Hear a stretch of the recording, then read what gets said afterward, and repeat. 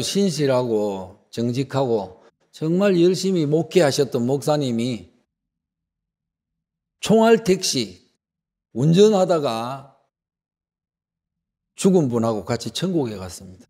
그러니까 아주 착하고 정말 섬기고 열심히 했던 목사님하고 총알 택시 기사 운전수하고 같이 같은 날 죽어가지고 천국에 간 겁니다. 하나님 앞에 섰습니다, 두 분이. 근데 목사님은 별로 관심이 없어, 하나님.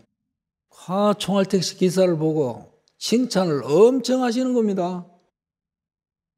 그래서 목사님 들어보니까, 아니, 자기가 칭찬을 많이 들을 줄 알았는데, 자기는 그냥 뭐 무시해버리고, 오늘 시큰둥해가지고, 하나님께 물어봤습니다. 아니, 저, 저 친구는 친구를 칭찬을 그렇게 많이 하시는데, 나에게는 왜 칭찬을 안 하시는가? 왜 저 친구한테 그렇게 많은 칭찬을 하시는가? 이렇게 하니까 하나님 하시는 말씀이 너는 설교를 하면서 사람들을 많이 졸게 했지만은 저 친구는 운전을 하면서 많은 사람들에게 기도를 하게 했다.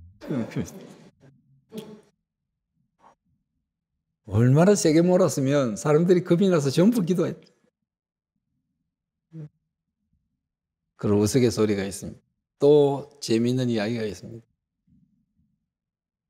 장로님이 근엄한 장로님이 어느 날 돌아가시고 천국에 간 겁니다. 그리고 천국에 가자마자 배가 너무 고픈 거예요. 그래서 식당에 가서 앉아 있었습니다. 그 종업원들이 왔다 갔다 하고 천사들이 천사를 시중드는 천사들이 왔다, 종업원들이 왔다 갔다 하고 이래서 많이 앉아 있었습니다. 남들도 보고 아무리 기다려도 물도 안 갖다 주고 뭐 음식 주문도 안 하는 겁니다. 그래서 지나가는 종업원에게 아 여보 아니 여기는 어떻게 된 건지 물을 갖다 주고 말이지 물수건도 주고 주문을 받 음식 주문을 받아야지 왜 안 하느냐 그 종업원이 방긋 웃으면서 아 장로님 이 자리는 셀프 서비스입니다.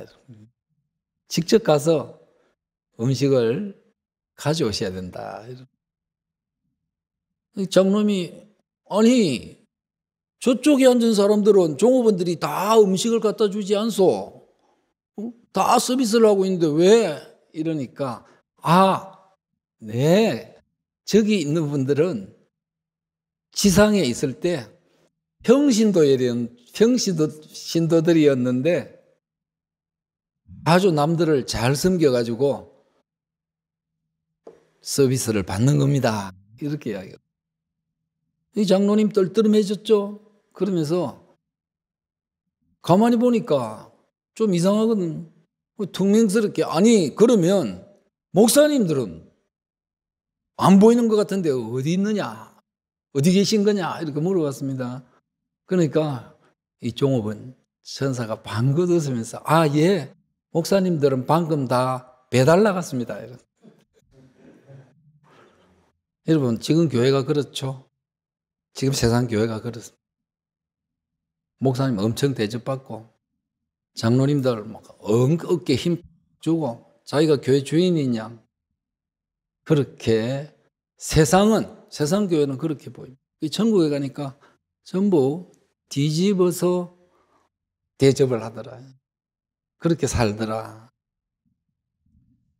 이 말씀이 마가복음에 그대로 있습니다.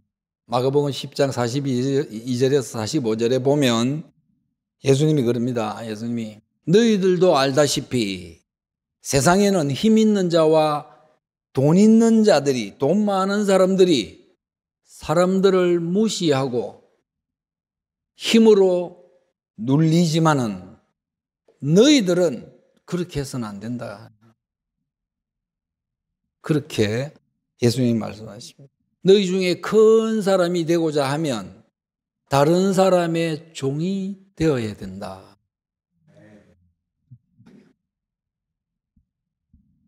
주인이 되기를 원하는 사람은 모든 사람의 종이 되어야 된다. 내가 온 것은 인자가, 인자가 온 것은 섬김을 받으러 온 것이 아니고 섬기러 왔고 많은 죄인들의 죄값을 대속하기 위해서 내 목숨을 주러 왔다. 이렇게 이야기하죠. 그러니까 그리스도인들은 그 예수님, 그렇게 말씀하시는 예수님을 내 주인으로 모셨으면 내 주인에 따라서 그 말씀하신 대로 살아가야 되는 게 그리스도인이다. 근데 아직도 내가 주인 되고 내가 여기에 힘있고 내가 여기 높은 자리고 이러면서 누리다 보니까 하나님 앞에 가서는 그렇게 대접 못 받는다 이 말이죠. 그냥 우스운 이야기 같지만 우리가 잘 새겨드려야 되는 겁니다. 섬김을 받으러 온 것이 아니고 섬기러 왔고 많은 사람들의 죄를 대신해서 목숨을 주려고 목숨을 주려고 내가 십자가를 진 것이다. 목숨을 주려고 온 것이다. 이렇게 합니다. 저와 여러분도 예수님을 따라가는 사람입니다. 그리스도인은 예수를 닮아가는 사람, 예수 그리스도의 삶을 그대로 나도 이 땅에 살려고 하는 사람입니다. 그 말씀을 듣고 그대로. 그러면 우리 안에는 섬김이, 사랑이 가득 찰 수 있도록 하나님 자체가 사랑이시기 때문에 십자가는 사랑의 표본입니다. 하나님의 마음을 나타낸 것이 십자가입니다. 십자가는 사랑입니다. 그러면 예수 믿는 사람도 마음 안에는 늘 그것이 우선되어야 된다. 남을 먼저 생각하고 이해하고 남을 먼저 배려하고 나보다 어떻게 하면 남이 편할 수 있을까? 남이 좋을 수 있을까? 이렇게 생각하면서 사는 사람이 예수님의 삶을 따라 사는 사람이다. 이렇게 생각하고 늘 그 마음을 내 안에 가득 품어야 됩니다. 참 이기적인, 자기 중심적인 세상에 살고 있지 않습니까? 이 세상에 우리가 보는 그대로 재미가 없습니다. 빌립보스입니다. 오늘 말씀 빌립보스에 가보겠습니다. 신약 성경 뒤쪽에 있는 책입니다. 319페이지입니다. 2장 5절입니다. 너희 안에 이 마음을 품어라, 품어라, 간직해라, 곧 그리스도 예수의 마음이니. 어떤 마음이냐? 그는 근본, 원래 하나님의 본체시나, 원래 하나님 자체이시나, 하나님과 동등됨을 취할 것으로 여기지 않고 오히려 자기를 비워서 종의 형체를 가지사 사람들과 같이 되었고 사람으로 오셨고 사람의 모양으로 나타나사 자기를 낮추시고 죽기까지 복종하셨으니 곧 십자가에 죽으심이라. 이렇게 본체 원래 하나님이신 그 하나님이 자기를 비우고 이 땅에 사람으로 오셔서 사람들을 위해서 이 죄인된 하나님의 원래의 인간의 취지를 뜻을 모르고 살아가는 이 인간들에게 그 죄악을 죄값을 대신해서 십자가 죽기까지 낮추셨다. 자기 목숨을 내어 주셨다. 이게 하나님의 본체시다 하는 거. 하나님의 본질이시다. 예수님이 우리를 위해서 그렇게 하신 것이다. 예수님이 삶의 모범을 그렇게 보여주셨다, 우리들에게. 이렇게 이야기합니다. 그러면서 이제 이 빌립보스를, 빌립보스가 바울이 로마의 감옥에 있습니다. 이 하나님의 말씀을 전하는 이, 이것을 빌립보스를 쓴 사람은 지금 로마에서 감옥에 갇혀서 복음 전하다가 예수님 전하다가 예수의 삶을 따라 살다가 잡혀서 이 빌립보스에 편지를 쓰는 겁니다. 지금 편지를 쓰는데 17절에 보면 이런 이야기를 합니다. 만일 너희 믿음의 재물과 섬김 위에 당신들의 믿음의 재물과 섬김 위에 내가 나를 전제로 드릴지라도 나는 기뻐하고 너희 무리와 함께 기뻐하리라 이렇게 이야기합니다. 그러니까 빌립보의 편지를 쓰면서 빌립보 사람들에게 당신들이 하나님께 드리는 예물, 그렇죠? 재물, 헌금이나 재물들, 섬김 그 위에 내가 함께 제사상에 올려질지라도 내가 당신들이 그 섬기고 하나님께 드리는 그 예물처럼 내 목숨이 제사상에 올려질지라도 나는 기뻐할 것이다. 이렇게 이야기합니다. 이 바울이 여러분, 자기, 바울은 예수 안 믿었습니다. 예수 믿는 사람들 잡으러 다닌 사람입니다. 유대인들이라서 예수, 예수는 메시아가 아니야. 예수는 구원자가 아니야 하면서 예수 믿는 사람 잡아서 감옥에 넣고 때리고 죽이고 이랬던 바울이 어느 날 다마스커스 도상에서 예수님을 만나고 이렇게 변화됩니다. 자기 충분히 그냥 세상적으로는 권력도 있고 돈도 많고 가문도 좋고 학벌도 좋고 마음대로 살 수 있었던 바울이 예수님 만나고 구원받고부터는 예수님 따라다니면서 예수님의 행적들을 다 배우고 담고 기도하면서 그대로 사셨다. 그래서 하나님 앞에 내가 제사상의 제물이 될지라도 나는 기뻐한다. 하모니 하나님께 드려진다면 너희들을 위해서 내가 제사상에 올려질지라도 나는 기쁘다. 이 정도로 이야기합니다. 그러면 이제 이렇게 합니다. 보통 아이고 예수님이시니까 오늘 이렇게 십자가 질 수 있지. 바울이니까 바울 정도 되니까 신약의 27권 중에서 13권을 쓸 정도로 전 아시아 유럽 전체를 다니면서 복음 전할 정도로 능력도 있고 똑똑하고 그러니까 그럴 수 있지. 우리들이야 뭐 아는 게 없고 할 수 있는 게 없는데 뭔 그런 섬김을, 뭔 그런 복음의 힘을 가지고 우리가 할 수 있겠느냐? 이럴 수도 있습니다. 저 여러분. 근데 오늘 이 바울이 이 이야기 그 밑에 보면 19절에 이제 자기가 감옥에 있잖아요. 면회를 왔습니다. 누가 1300km가 되는 빌립보에서 로마까지 1300km가 된답니다. 그런데 거기에 면회 온 사람 이야기를 합니다. 19절 제가 있습니다. 내가 디모데를 속히 너희에게 보내기를 지금 이제 면회 왔는데 빨리 보낼게 이렇게 합니다. 주 안에서 바람은 바라는 것은 너희의 사정을 알므로 아니를 얘를 보내므로 디모데를 보내므로 해서 너희들이 지금 뭔가 문제가 있는 것 같은데 편안하게 하려고 문제를 해결하려고 내가 보낸다 하면서 21절 여러분 같이 한번 읽어보겠습니다. 21절 이 디모데가 어떤 사람인가를 바울이 이야기합니다. 시작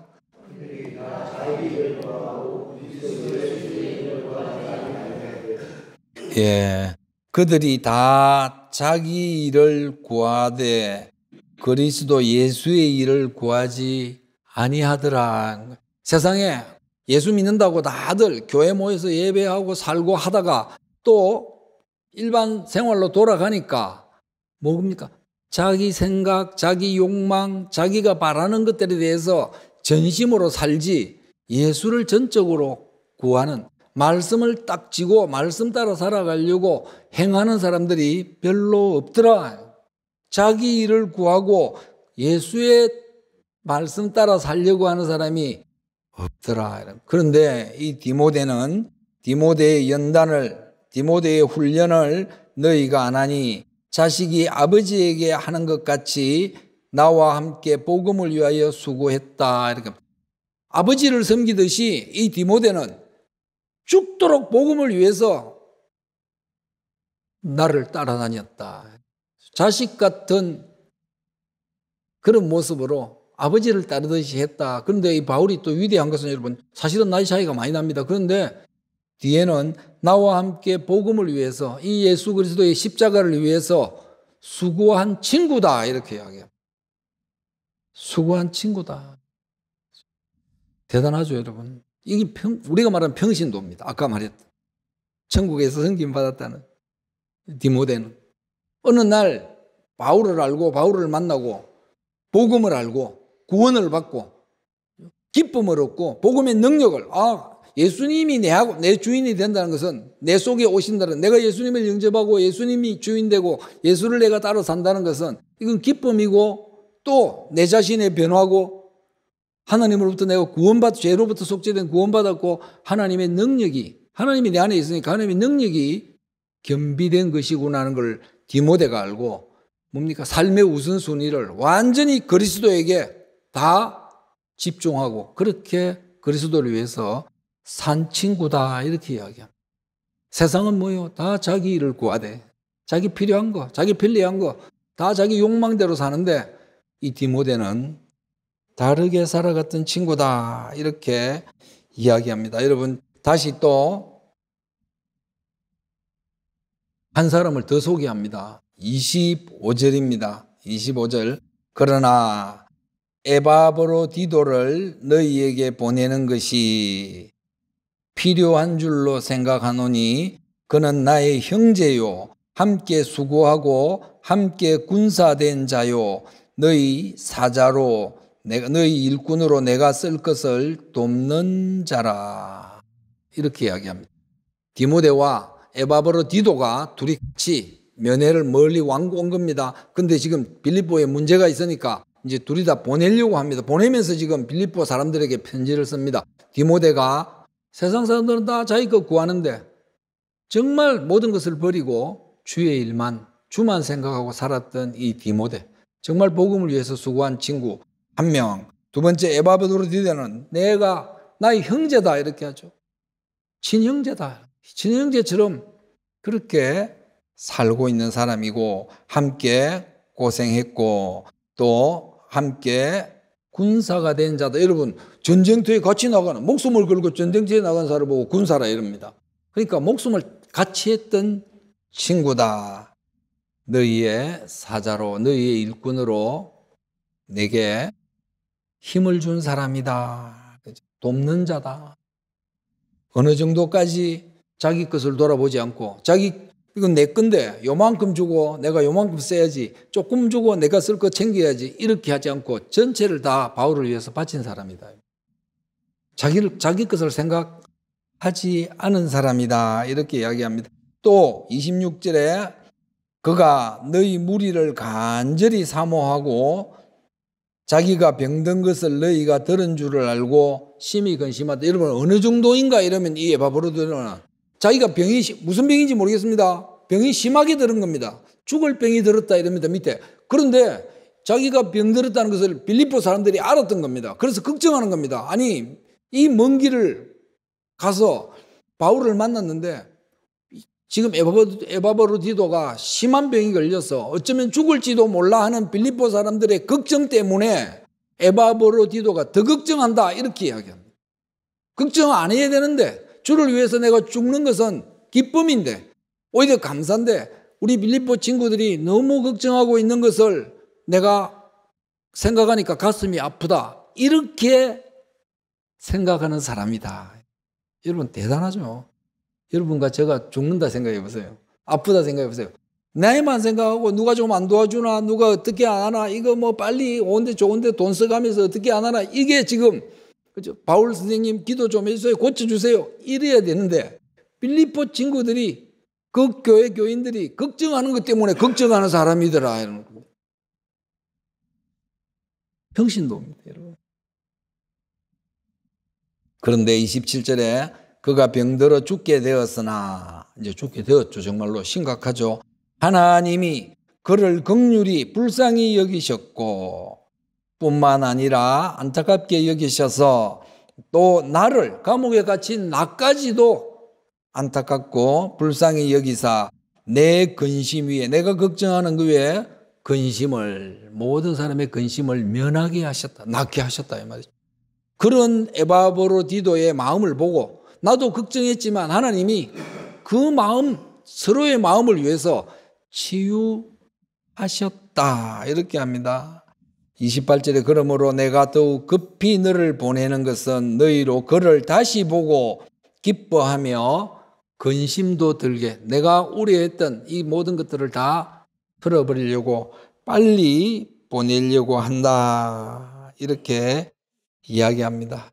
여러분, 우리가 성경을 읽다가 보면 이 세상하고 비교를 한번 해봤어요. 얼마나 지금 세상이 이기적이고 자기 중심적인 남이 죽든지 말든지 이런 세상입니다. 남에 대해서 전혀 이 디모데와 에바브로 디데는 디도는 여러분 복음을 예수님을 보고 그 삶을 따라가기 위해서 나보다 항상 남을 먼저 생각하고 배려하고 내 중심보다 타인 중심의 삶을 살아가는 사람이 이 사람들이다 하고 바울이 지금 보여주는 겁니다. 나도 그렇지만 나도 하나님 제사상에 놓여서 언제든지 재물이 되어도 좋다 너희들을 위해서라면 그렇게 했는데 이 두 사람도 그렇다 그런 마음으로 살아가는 사람들이다 이렇게 합니다.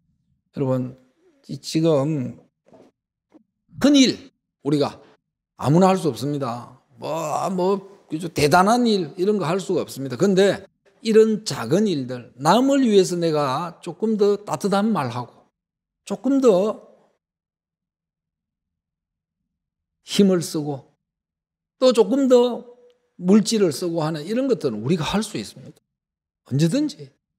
그거 지고 어떻게 하든지 그렇게 내 마음이 편할 것 같지만 내가 부자 될 것 같지만 천만에 하나님은 오히려 디모데, 에바브로, 디도처 이렇게 살아가는 사람들에게 늘 필요한 것을 주신다 약속하시는 작은 것부터 우리가 말, 요 입 이거 우리 마음대로 놀릴 수 있습니다. 그런데 생각 한 번 더 하고 좋은 말 하는 거, 따뜻한 말 하는 거, 그렇죠? 기분 좋은 말 하는 거.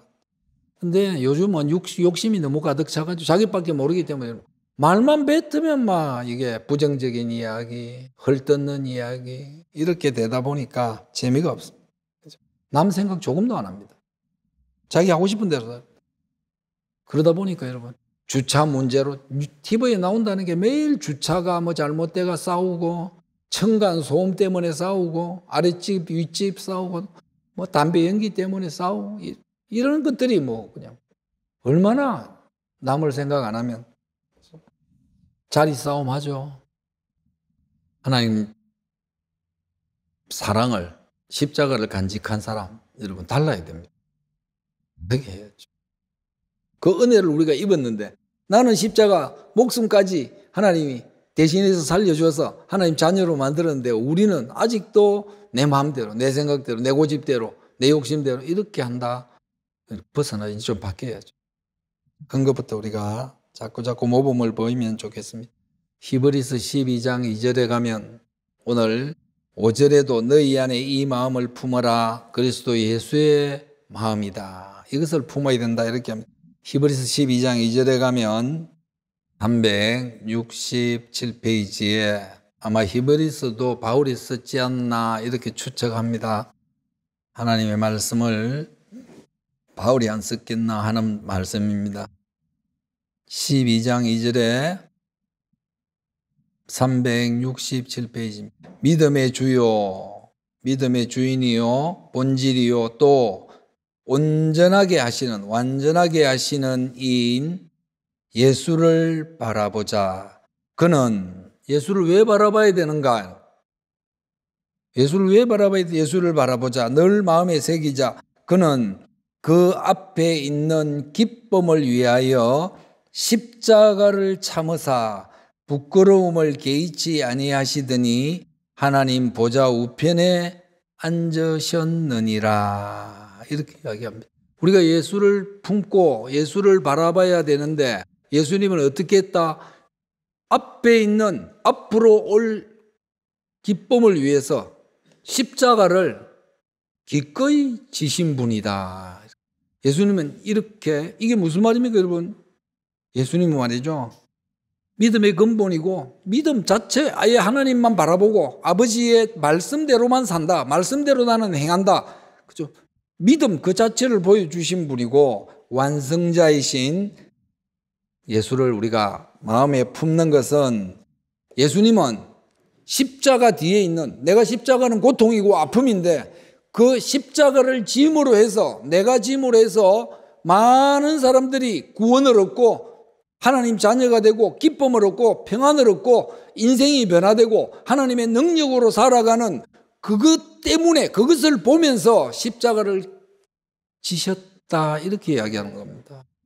여러분 타인을 위해서 죄인, 죄인일 수밖에 없는 인간들을 보면서 그래, 내 하나가 희생됨으로 내가 십자가를 짐으로 저들이 죄에서 벗어나서 하나님 자녀가 되고 하나님의 능력을 얻고 하나님의 기쁨을 얻고 하나님 자녀로서 행복하게 살 것이기 때문에 십자가는 내가 기꺼이 지겠다 이렇게 하실 분이다. 저 여러분도 마찬가지죠. 우리가 그리스도를 따라가는 예수님을 따라가는 그리스도인이잖아요. 예수님의 희생, 그 아픔을 통해서 우리가 지금 하나님 구원받고 하나님 자녀로 살고 있는 겁니다. 그래서 예배 드리는 겁니다. 그러면 우리는 예수님을 닮은 우리는 예수님이 주인인데 우리는 똑같이 남들에 대해서 그 사람이 지금은 꼴 보기 싫은데 그 사람이 지금은 엉망인데 지금은 저건 뭐 무시하고 무시하고 싶은데 그런데 내가 섬기고 좀 도우고 좀 따뜻하게 위로하고 같이 함으로 해서 그 사람이 변화되고 그 사람이 예배를 드리고 오히려 나보다 더 하나님께 찬양하고 더 많은 하나님의 능력을 얻어서 많은 사람들에게 하나님의 사랑을 증거하는 사람이 될 것이라는 것 때문에 우리가 작은 것부터 희생하고 돌보고 도와주고 함께 예배드리면서 하나님의 사람으로 만드는데 섬기는 그런 저와 여러분 되기를 축원합니다. 이 디모데와 에바브르디도 삶의 최우선이 누구였다? 그리스도였다. 그대로 살았던 사람이다. 다시 돌아갑니다. 빌립보서 2장 30절 에바브로디도의 이야기를 마무리하죠. 30절 여러분 같이 읽어보겠습니다. 시작.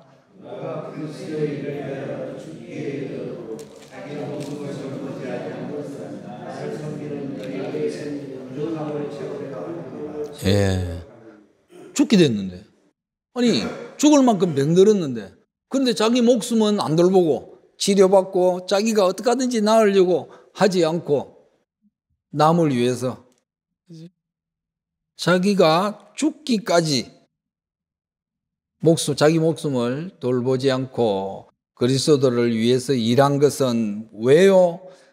너희들의 부족함을 채우기 위해서였다. 이렇게 이야기합니다. 자기 목숨까지 죽어가는 몸을 안고도 다른 사람들이 필요한 것을 위해서 그 예수를 위해서 자기를 희생한 사람이 에바브로디도다. 그것을 여러분이 좀 알고 닮아야 되지 않겠느냐. 우리들 모세 가족들이 여러분 십자가의 교훈이 뭡니까? 아까 그랬습니다.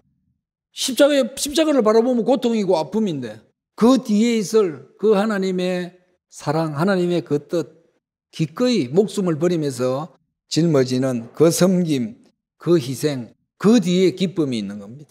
그 뒤에 하나님의 놀라운 은혜가 있는 겁니다. 근데 그것도 없이 내만 잘 살고 내만 갖추고 그래 하다가는 하나님의 은혜, 하나님의 그 오 묘함, 신비함, 하나님의 그 능력들을 우리가 언제 봅니까? 오늘 에바브로디도 디모, 디모데를 우리가 가슴에 품고 그래 큰것 하나부터 섬김으로 기쁨으로 주님 따라 살아갈 수 있는 오늘 예수님처럼 바울처럼 디모데처럼 에바, 에바브로 디도처럼 기꺼이 주님, 내 삶도 작은 것부터 드리겠습니다. 받아 주십시오. 마음대로 사용해 주십시오. 기도하는 저와 여러분 되기를 축원합니다. 하나님, 십자가의 정신, 십자가의 교훈, 그것은 자기를 위한 것이 아니었습니다. 자기가 남들에게 잘 보이고 대단하다는 것을 나타내기 위해서 십자가를 지신 것이 아닙니다. 죄인인 인간들, 벗어날 수 없는 인간들을 위해서 그들이 진정한 기쁨을 얻고 구원의 삶을 찾고 하나님 자녀로 살아가는 그 위대한 을 위해서 자신을 내어놓으신 그 십자가 하나님 오늘 우리가 다시 한번 받아들이고 가슴에 새깁니다.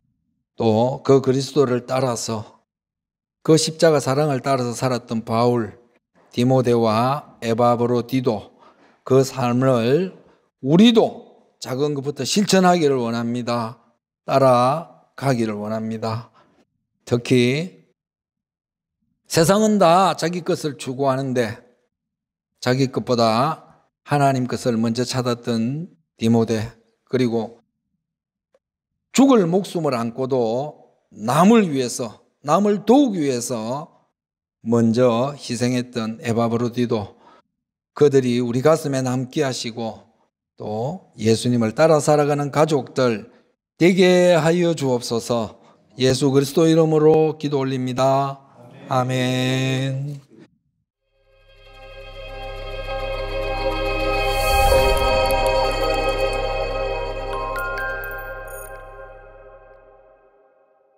하나님 자기 일보다 또 죽을 병을 안고도 삶의 우선순위를 주님께 두었던 바울과 또 디모데, 에바, 브로디도처럼 기꺼이 우리 들무세 가족들, 우리 삶을 온전히 드리는 가족들이 되기를 원합니다. 큰 일이 아니라 작은 일부터 말 한마디, 행동 하나하나 주님 닮아가는 주님 뜻대로 사용하십시오. 기도하는 가족 하나님 되게 해 주옵소서.